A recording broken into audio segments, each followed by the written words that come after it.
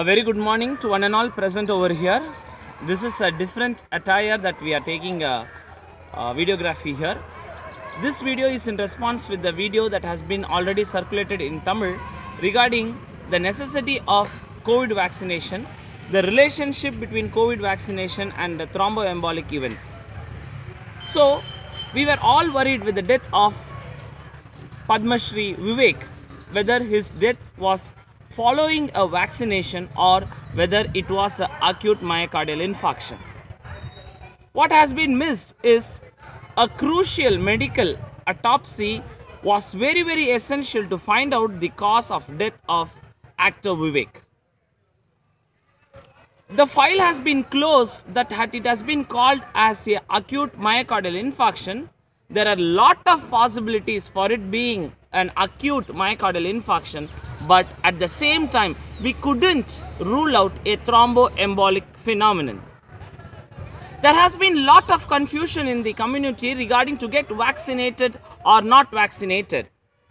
Just merely saying that the actor has not died due to vaccination is not sufficient.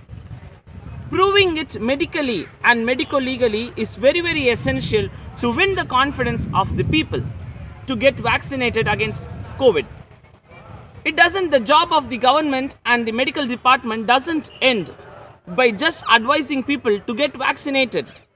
Lot of people are fearing whether this vaccination will bring a permanent genetic damage or this vaccination will bring a permanent sterility or this vaccination will bring thromboembolic phenomenon.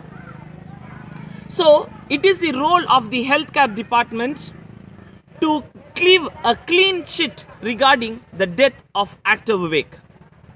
If you ask me medically, is it possible to differentiate a thromboembolic event and from an acute myocardial infarction? A clinical autopsy would have given the study. A thromboembolic phenomenon, the artery would have been blocked by a thrombus and an embolus. But at the same time, if the acute myocardial infarction of actor Vivek has been a permanent 100% block of a long-standing block, then it would have been due to the lipid-laden atherosclerosis. To make the common man understand, if the heart attack was because of a long-standing journey of heart illness, the block which has been blocking the artery of LAD, the one of the important artery of the heart, it would have been accumulated by fat. But whereas if it has followed a thromboembolic phenomenon following a vaccine, the block would have been obstructed by a currently or a recently happened hemorrhage and a clot following that.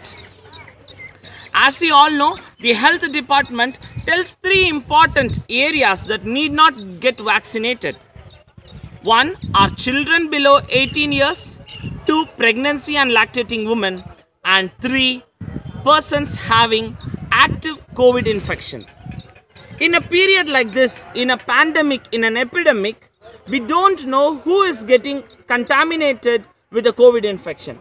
If the patient or if the person is in the incubation period, we might not know whether he has contracted the COVID infection and getting mass vaccination at this time is not medically correct.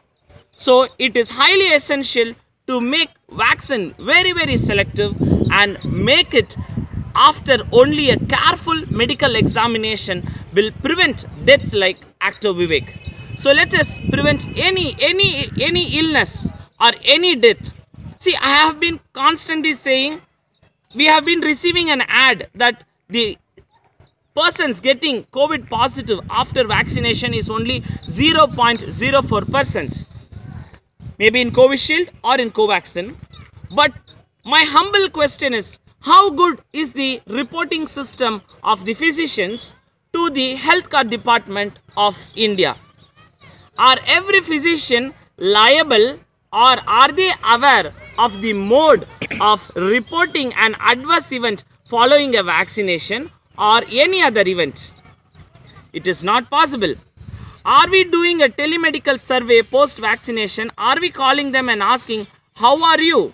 So, it is very, very crucial for the healthcare department to at least conduct a telemedical survey for the vaccinated people to make the phase 3 study a beautiful one. Let us not get any more damage from vaccine. Let us think medically and act scientifically and let me come and meet you in an important video next time and this video has been made in English after the subscribers desire. Thank you and wish you see in another video. Thank you.